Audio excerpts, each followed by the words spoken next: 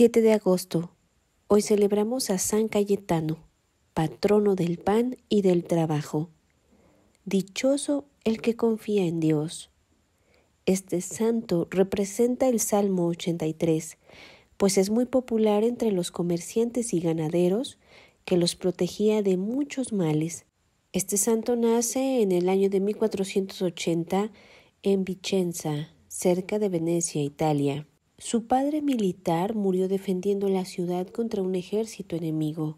El niño quedó huérfano al cuidado de su santa madre que se esmeró intensamente por formarlo muy bien. Estudió en la Universidad de Padua donde obtuvo dos doctorados y allí sobresalía por su presencia venerable y por su bondad exquisita que le ganaba muchas amistades. Después se fue a Roma y en esa ciudad capital llegó a ser secretario privado del Papa Julio II y notario de la Santa Sede. A los treinta y tres años fue ordenado sacerdote. El respeto que tenía por la Santa Misa era tan grande que entre su ordenación sacerdotal y su primera misa pasaron tres meses, tiempo que dedicó a prepararse lo mejor posible a la santa celebración. En Roma se inscribió en una asociación llamada del Amor Divino, cuyos socios se esmeraban por llevar una vida lo más favorosa y sobre todo por dedicar a los pobres y a los enfermos. Viendo que el estado de relajación de los católicos era sumamente grande y escandaloso, se propuso fundar una comunidad de sacerdotes que se dedicaran a llevar una vida lo más santa posible y en enfervorizar a los fieles y los fundó los padres taetianos, nombre que les viene de Taeti, la ciudad del cual era obispo el superior de su comunidad, que después llegó a ser el Papa Paulo IV. San Cayetano le escribía a un amigo Me siento sano del cuerpo pero enfermo del alma, al ver cómo Cristo espera la conversión de todos, y son tan poquitos los que se mueven al convertirse, este era para él un anhelo de su vida, la conversión, que la gente empezara a llevar una vida más de acuerdo con el Santo Evangelio y sobre todo en amar y servir a Dios. Y donde quiera que estuvo, él trabajó para conseguirlo. En este tiempo estalló la revolución de Lutero, que fundó a los evangélicos y se declaró una guerra contra la Iglesia de Roma.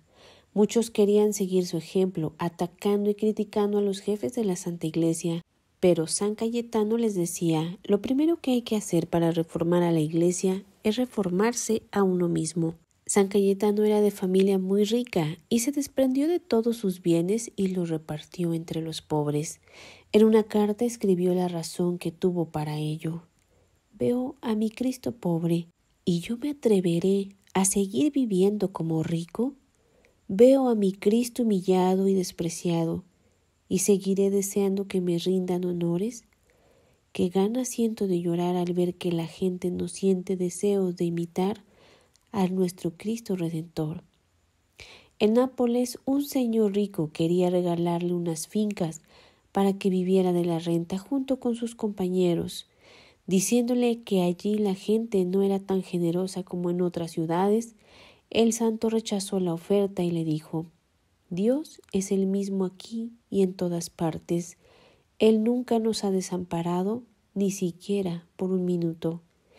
Este santo fundó asociaciones llamadas Montes de Piedad o Montes Píos, que se dedicaban a prestar dinero a gente muy pobre con bajísimos intereses. Sentía un inmenso amor por nuestro Señor y lo adoraban especialmente en la Sagrada Hostia, en la Eucaristía, recordando la santa infancia de Jesús también. Su imagen preferida de este santo era el divino niño. La gente lo llamaba el Padrecito, que es muy sabio, pero a la vez muy santo. Un día, en casa, cuando estaba con un religioso, no había nada para comer, porque todos se habían repartido los bienes entre los pobres. San Cayetano se fue al altar y dando unos golpecitos en la puerta del sagrario donde estaban las santas hostias, le dijo con toda confianza Jesús amado, te recuerdo que no tenemos hoy nada para comer. Al poco rato trajeron unas mulas, una buena cantidad de provisiones y los arrieros no quisieron decir de dónde los enviaban. En su última enfermedad, el médico aconsejó que lo acostaran sobre un colchón de lana y el santo exclamó Mi Salvador murió sobre una tosca cruz. Por favor, permítanme a mí, que soy un pobre pecador, morir sobre unas tablas. Y así fue.